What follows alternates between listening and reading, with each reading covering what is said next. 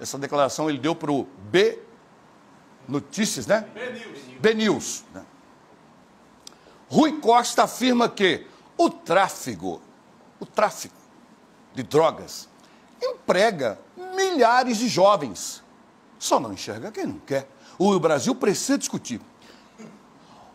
Um governador que diz isso é, é piada. Isso é piada. O tráfico que mata. Mães choram nesse momento, perderam o filho hoje de manhã. Como é que um governador, mas tinha que ser de onde? Do PT. É não. É não. É não. É não. Rui Costa tem vergonha nessa cara, rapaz. Tu, um governador, tu dizer isso pro teu povo, pros teus policiais. Tenha vergonha, Rui Costa.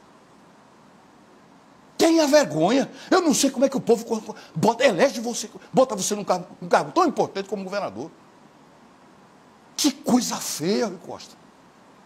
Mas não é possível que o povo vai engolir de novo, né? Palavras do governador. Ele está tratando o tráfico de drogas como empresas.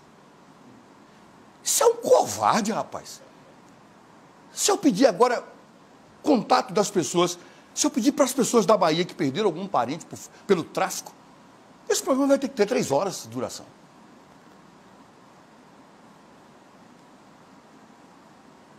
Se tiver mais informações, vai me dando, viu? Se tiver mais, por favor, vai me, vai me mandando informação. Se tiver outro site, outro portal, para a gente. Não sei o que estou dizendo, não. Uai, seu app de vídeos curtos.